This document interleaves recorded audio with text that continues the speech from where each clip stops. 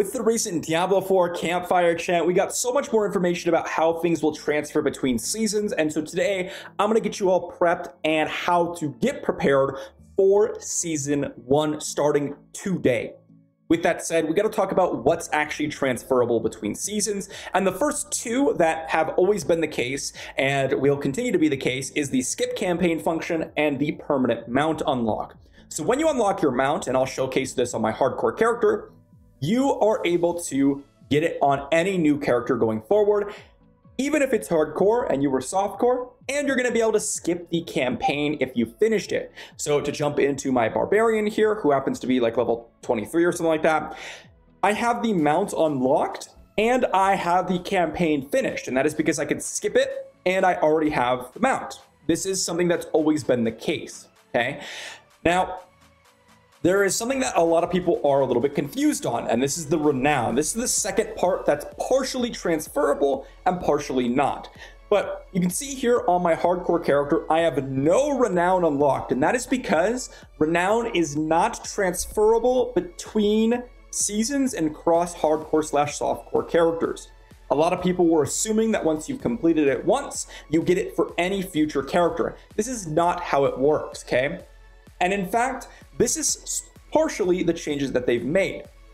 Previously, we were able to acquire the altars of Lilith on one character and get them across every character. This is still the case, but now there's an additional factor in which when you unlock the altars here, you're going to get the renown associated with those altars in any future season as well. Meaning that when I start off a new character in season one, I will have immediately 280 renown from my altars, immediately giving me access to the skill point, which is going to be a really nice bonus.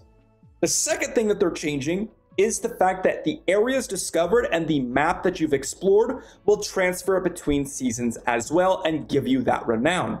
For example, here, if I were to swap over to my Necromancer, who's also soft core and also has the Renown, because Renown does share across characters, just not across seasons. Um, and you'll see that I don't have the map explored, and I don't have the Renown associated with it. This is going to be changing. I am going to immediately get the altar bonus for renown, meaning that I'll immediately get the skill point and most likely the potion capacity due to me having the entire map explored and also getting the altar renown associated with that. Okay. And just to show you all, if I pull up a calculator here, um, the renown is going to look, let's say in Fractured Peaks here, I have 28 altars. So we'll do, actually, we'll start with the areas discovered. We have 76 areas discovered.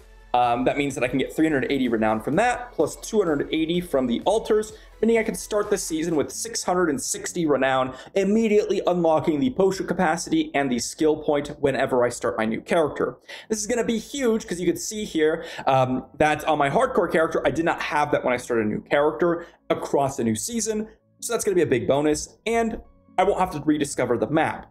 Now, you will still have to discover the waypoints the strongholds, the side quests, and the side dungeons. So renown grinding still exists in future seasons, and until we get more information about what seasonal mechanics we're going to be getting, um, that is just kind of what we're going to have to take for face value and prepare with that knowledge in mind. Now, with that said, since we know that there are a few things that are transferable and a few things that are not, how do we prepare for season one? Well, the obvious solution first off would be to go ahead and finish campaign and get your mount as soon as possible because you're going to be able to get that across every character in any future season.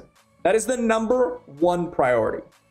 After you've gone ahead and gotten your mount and finished the campaign, the number two priority should be to get every altar in the game. These are now going to be permanent unlocks, okay? Meaning that, again, you're going to get that renown and you're going to get the stats associated with it so you should be getting every altar in the game. Don't leave one behind um, just because, you know, you don't want to do it. Well, if you don't want to do it, just have some fun, no worries. But if you're trying to be efficient, you want to pick up every altar because you're going to get the stats and you're also going to get that nice 10 renown bonus, okay, across every future character. And then the last thing that you're going to want to do is pick up every area discovered. Now, this is a big, big change from before. Uh, again, because we're going to get that renown, we want to get every area discovered for the additional renown. You might notice that on my main character here, I have 63 of 76 areas discovered in Fractured Peaks, which is missing 13 areas, which equates to 65 renown. So I can get an additional 65 renown for any future character if I go around and find little little splotches like this around the map that haven't been discovered. It's important to note that if you create a new character and you discover areas on that character, it's not going to apply overall to your account unlocks unless you discovered an area that was not discovered before on your main character. So my recommendation is just to finish all of it on one character so you don't get mixed up and confused on what character unlocked what. Okay, so that is pretty much everything that you can do. Again, a little bit of TLDR here. First off, campaign with the mount unlock, which you'll get through the campaign. Second thing to do is the Altars of Lilith. And the third thing to do would be to go ahead and explore every single area of the map in order for you to get some renown bonuses for next season.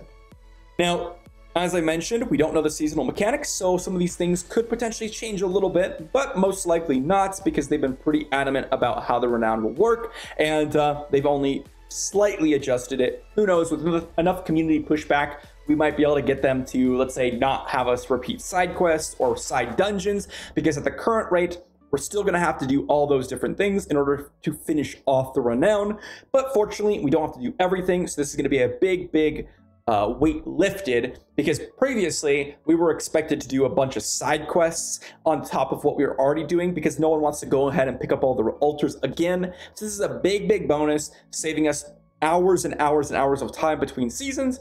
And I think it's a pretty good change. But hopefully that was helpful, guys. And if it was, leave a like on the video, sub to the channel, and I'll see you all for a video soon.